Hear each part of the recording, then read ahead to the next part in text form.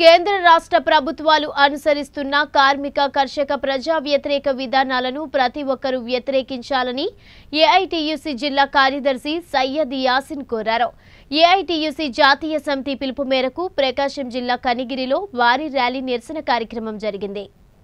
ఈ సందర్భంగా యాసిన్ మాట్లాడుతూ షెడ్యూల్ ఎంప్లాయిస్మెంట్లో కనీస వేతనాలను వెంటనే సవరించాలని కార్మిక చట్టాల్లో కార్మిక వ్యతిరేక మార్పులను రద్దు చేయాలని వలస కార్మికుల చట్టాన్ని కఠినంగా అమలు చేయాలని ప్రభుత్వ రంగ సంస్థలను విదేశీ స్వదేశీ పెట్టుబడిదారులకు అప్పగించే పని ఆపాలని రైతులకు వ్యవసాయ ఉత్పత్తి వ్యాపారాలకు అన్యాయం చేసే రైతు బిల్లును వెంటనే రద్దు చేయాలని రైతులకు గిట్టుబాటు ధర కల్పించాలని ఆయన ప్రభుత్వాన్ని డిమాండ్ చేశారు.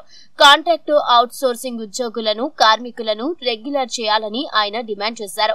కార్మికులకు బోనస్ పీఎఫ్లపై అర్హత చెల్లింపులపై సీలింగ్ ఎత్తివేయాలని గ్రాట్యుటీ మొత్తాన్ని పెంచాలని ఆయన డిమాండ్ చేశారు.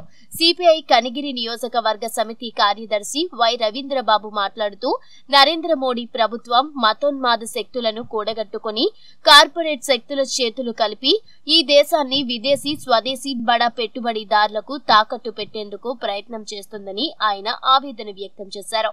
ముందుగా దరిసి చెంచయ్య భవన్ వద్ద నుంచి ప్రదర్శనగా బయలుదేరి అంబేద్కర్ విగ్రహం మీదుగా ఏఎల్ఓ ఆఫీస్కు చేరుకుని కనిగిరి ఏఎల్ఓకి వినతి పత్రం సమర్పించారు.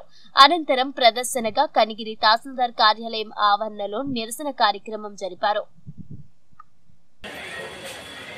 భవన నిర్మాణ కార్మిక సంక్షేమ నిధికి జమ చేయడం ద్వారా నాలుగు వందల యాభై కోట్ల రూపాయలు ఇవాళ ఆంధ్రప్రదేశ్ రాష్ట్ర ప్రభుత్వానికి జమ అయి ఉన్నది. ఏదైతే ఈ భవన నిర్మాణానికి సంబంధించినటువంటి డబ్బు ఏదైతే ఉందో ఆ డబ్బును మీరు వెంటనే జీవో నెంబర్ పదిహేడును రద్దు చేసుకుని ఒక్కొక్క కార్మికునికి కరోనా కాలంలో తప్పనిసరిగా పదివేల రూపాయలు ఇవ్వండి అని అంటే అసిస్టెంట్ లేబర్ ఆఫీసర్ దగ్గర నుంచి మొదలుకొని రాష్ట్ర స్థాయిలో ఉన్నటువంటి లేబర్ ఆఫీసర్ల వరకు ఎన్నో సార్లు మొరల్ మొత్తుకున్నప్పటికి కూడా మార్చి నెల నుంచి ఇదిగో ఈ నెలలో మీకు పడతాయి మీ అప్లికేషన్లు ఇవ్వండి మీరు ఇచ్చినటువంటి అప్లికేషన్లు మేము పరిశీలించి మీకు వెంటనే మీ డబ్బు వెచ్చ ఏర్పాటు చేస్తాం.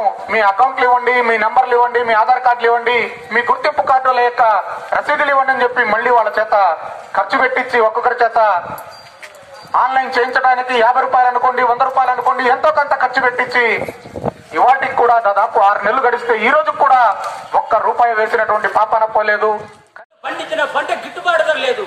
ఈ కేంద్ర ప్రభుత్వం నిన్న చేసిన చట్ట సభలో రైతుల్ని కడుపున నిట్ట నిన్న కడుపులో పొడిచినట్టు పథకమే ఈ పథకం. పారిశ్రామికవేత్తలకు ఈ నిజంగా వాళ్ళకు రాజబాట పరిచినట్టే. రైతు పండించిన పంటకు గిట్టుబాటు ధర ఇవ్వాల్సిన ఈ ప్రభుత్వం ఎరువులు కల్తీ కల్తీ ఎరువులు లేకుండా చూడాల్సిన ఈ ప్రభుత్వం అట్ట డలర్లు లేకుండా చేయాల్సిన ప్రభుత్వం కేంద్ర ప్రభుత్వమే.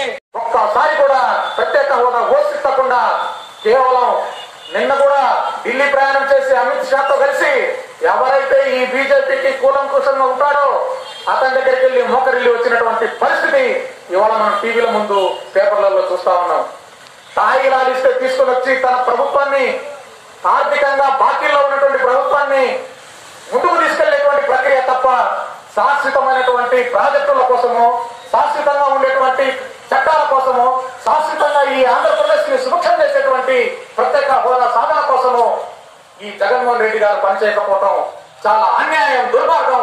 ఇలాంటి దుర్మార్గపు చర్య చేస్తున్నటువంటి మీ ప్రభుత్వం భవిష్యత్తులో ఇబ్బంది పడుతుందని చెప్పి వామపక్ష పార్టీలుగా ట్రేడ్ యూనియన్లుగా మేము